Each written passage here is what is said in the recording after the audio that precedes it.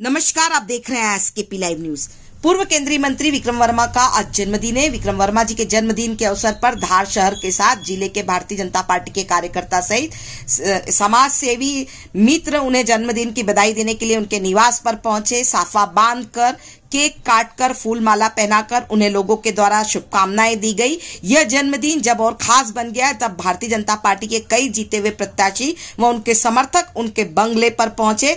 पूर्व केंद्रीय मंत्री विक्रम वर्मा, धार विधायक नीना वर्मा के द्वारा उन्हें मिठाई खिलाकर उन्हें शुभकामनाएँ दी गई। वही धार विधायक इस अवसर पर महिला मोर्चा के साथ थिरकते हुए नज़र आई। देखे खबर एसके पी लाइव न्यूज़ पर।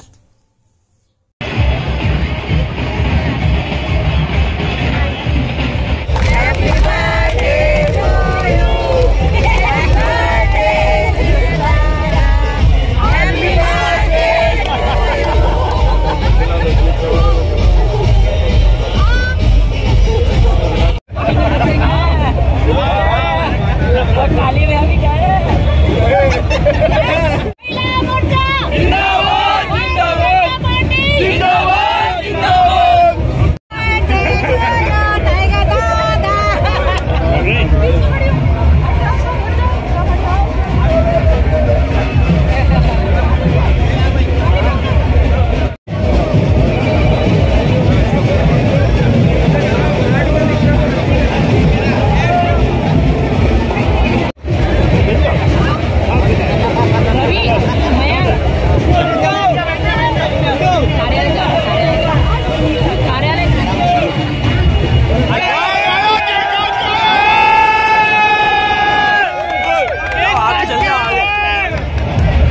California.